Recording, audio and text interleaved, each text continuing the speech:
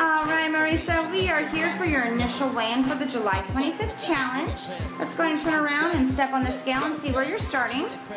And it is 211.8. All right, Miss Marissa, we are here for your final weigh-in of the July 25th challenge.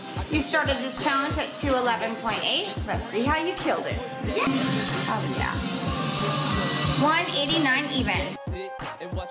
Transform like magic.